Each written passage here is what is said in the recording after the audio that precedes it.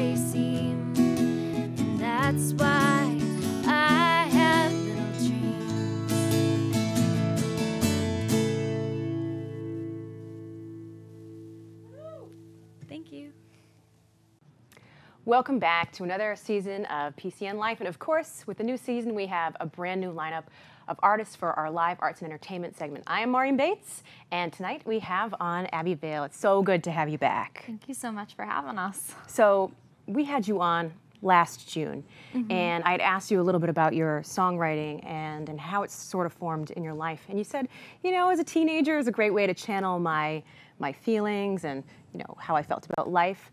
So you're a little mm-hmm. bit older now, and yeah. from what I hear, you know, your music has matured. Can you just tell me what are you writing about now? Um, I'm writing more about uh, less about relationships because I found that you know when your relationship, your love life isn't as rocky, then you don't actually get um, inspired very much to write songs about your relationship and your love life just because things are going so well and so smooth. Yeah. And there's pain writes great love songs, right? right, right. And there's none of that because you know that whole part of my life has really settled very nicely. Nice. And um, right now, kind of the big thing for me is trying to just you know orient myself. I'm 23 years old, so I feel this, you know, every, what every 23 year old feels is that pressure of you know, what are you going to do? You know, what's your next move and all of that. Yeah. And I was thinking about, you know, while I'm under all the stress, I'm starting to write songs that are kind of reflecting, you know, this kind of mantra I'm trying to keep in my own head um, of, you know, you don't have to worry about it. It's going to be okay. Yeah. Things are things all work out in the end. So. So sort of that transitional, like I'm a millennial and what's the next step in my life kind of feel.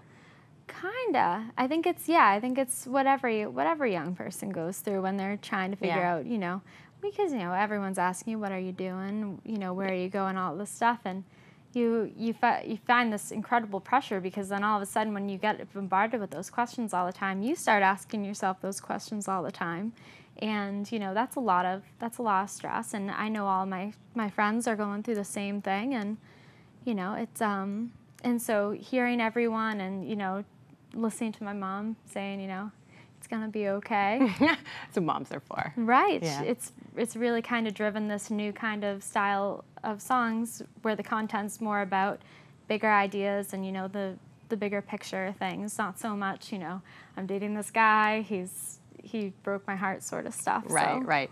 So on top of which, I mean, I can see you're, you're gigging out a lot more. You're really mm-hmm. establishing yourself. I see your name opening for people at the Spire, and you're playing these intimate shows at Bramhalls. So, tell me what, what that's like. What are you What are you learning? What are the challenges? What do you love about it?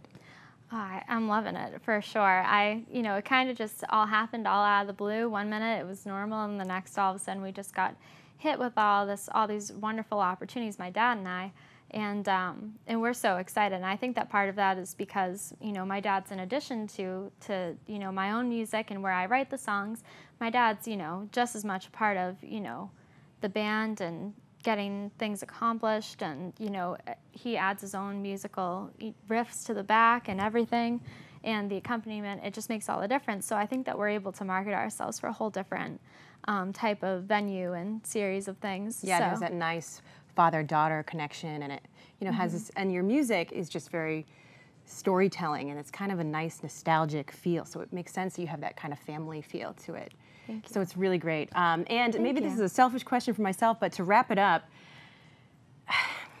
I, I album are you going to write one are you going to hit the studio or am I going to be able to listen to you in my car someday? oh yes, um, yeah. I have enough material that I could write um, definitely a solid album uh, I have everything kind of all worked out. It's just a matter of actually getting to the studio and doing that, and that's always a challenge, you know, as a as a college student and you know as someone who works full time and everything to actually get it accomplished. But you know, as you're saying, things are kind of becoming more of a there are more things going on in our in our musical life, so there has been a much bigger drive to actually get that done. So that's going to be done probably within my goal is the next six months.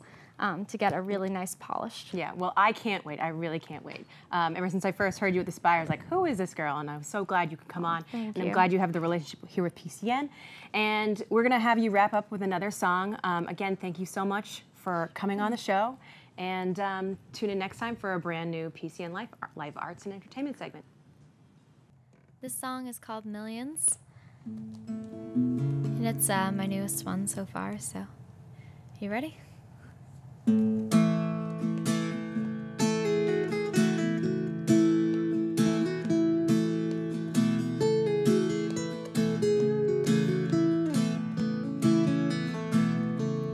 You can bet it's worth dollars in gas for a drive